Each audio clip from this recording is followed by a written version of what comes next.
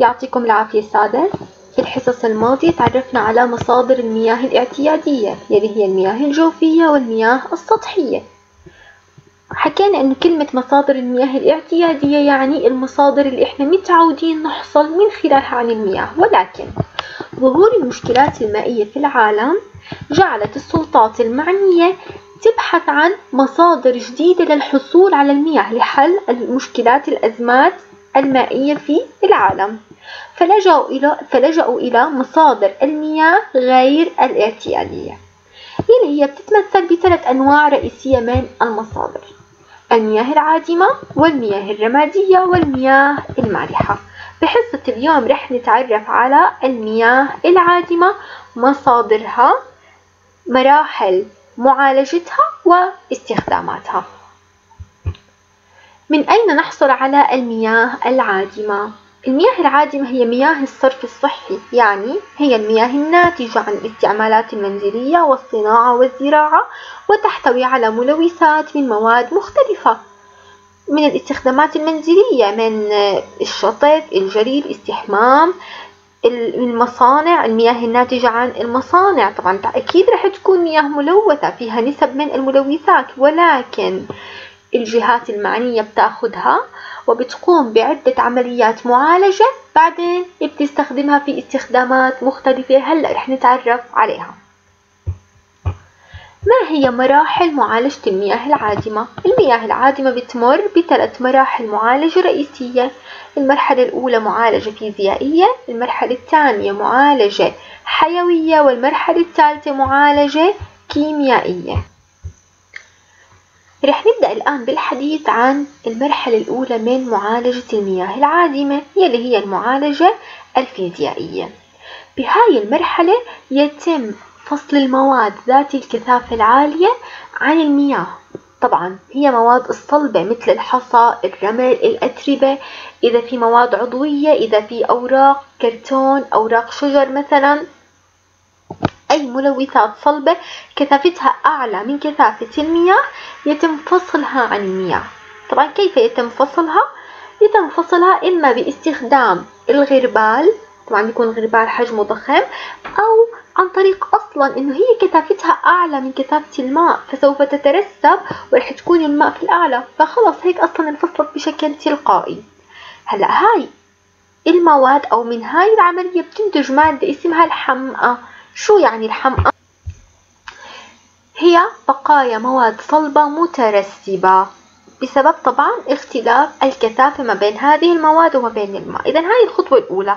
فصل المواد الصلبة ذات الكثافة العالية عن الماء. أما الخطوة الثانية فتقشط في هذه المرحلة الزيوت والدهون. طيب الزيوت والدهون تعالوا نفكر مع بعض. وين بتكون متواجدة بالنسبة للمي بتكون على سطح المي لأنه كثافتها أقل من كثافة الماء فسوف تطفو على سطح المي. فيتم من خلالها كشط الزيوت والدهون عن الماء. إذا في هاي المرحلة أنا ما ضفت إشي ما ضفت مواد كيميائية ما ضفت معقمات. إحنا فقط قمنا بفصل المواد ذات الكثافة العالية وكشط الزيوت والدهون. أما في المرحلة الثانية فهي مرحلة المعالجة الحيوية. يتم في هذه المرحلة استخدام بكتيريا. استخدام بكتيريا يعني نوع خاص من البكتيريا يقوم بتحليل المواد العضوية إلى مكوناتها الرئيسية وترسيب ما تبقى منها. إذا في هذه المرحلة يتم إضافة بعض أنواع البكتيريا إلى المياه تحليل المواد العضوية إلى مكوناتها الأساسية وترسيب ما تبقى منها. طبعا أنتم مستغربين كيف بدي أضيف بكتيريا للمي هيك صارت ملوثة. ما إحنا لسه ما أنهينا مراحل المعالجة لسه في مرحلة المعالجة الكيميائية يلي هي تفصل فيها بعض العناصر الكيميائية خاصة العناصر السامة بتكون موجودة في المي طبعا من خلال عمليات خاصة بتم فصل العناصر السامة وثم تعقيم المياه بإضافة الكلور أو الأوزون مثلا من أفضل المعقمات استخدام مادة الأوزون أو الكلور طبعا. فبالتالي هيك بيتم القضاء على أي جراثيم على أي ملوثات موجودة في هذه المياه. إذا كمان مرة يا سادس مراحل معالجة المياه العادمة ثلاث مراحل الفيزي... المرحلة الفيزيائية بيتم فيها فصل العناصر ذات الكثافة العالية عن المياه. المعالجة الحيوية يتم إضافة البكتيريا حتى تحلل المواد العضوية. ومرحلة المعالجة الكيميائية بإضافة مادة الكلور وفصل العناصر الكيميائية السامة عن المياه. وإضافة الكلور لتعقيم المياه. أو ممكن مادة ثانية الأوزون. الآن رح تسألوا حالكم أنا وين بستخدم هذه المواد هذه المياه؟ هل معقول إنه خلص أنا بعد ما عالجت المي صارت صالحة للشرب؟ لا سادس هي أكيد ما رح تصير صالحة للشرب وما رح أستخدمها للسباحة مثلا وما رح أستخدمها لري المزروعات المثمرة اللي إحنا بناكلها اللي البشر بيستخدمها. لا هي وين بتستخدم. بتستخدم مثلا في آه، المصانع تشغيل آلات المصانع. أنتم بتعرفوا بعض آلات المصانع بتحتاج للمي عشان التبريد تبريد الآلات. آه، في مثلا آه، الحدائق ري الأشجار الحرجية يلي عشان نزرعها عشان تنقي الجو.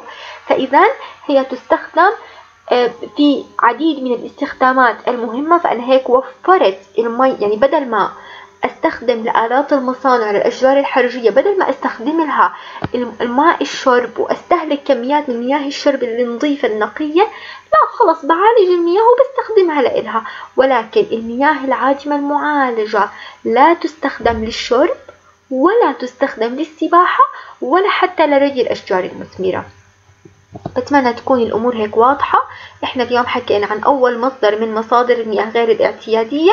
في حصة المرة القادمة إن شاء الله رح نتابع عن المصادر الأخرى من مصادر المياه غير الاعتيادية. يعطيكم العافية.